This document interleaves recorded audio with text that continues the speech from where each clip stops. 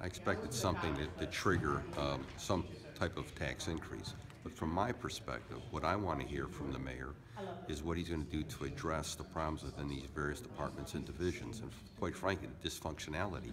We see it from one department, one division after another. So to be able to sell an income tax to the citizens, the citizens are going to want to know, what are you going to do to improve productivity? What are you going to do to improve what they see to be the lack of basic city services in their neighborhood or accountability and professional conduct? So those are issues that I'm going to be asking. There's no doubt Cleveland, like mon- many other major ish- cities, are, are uh, you know, cash strapped. There's no doubt about that.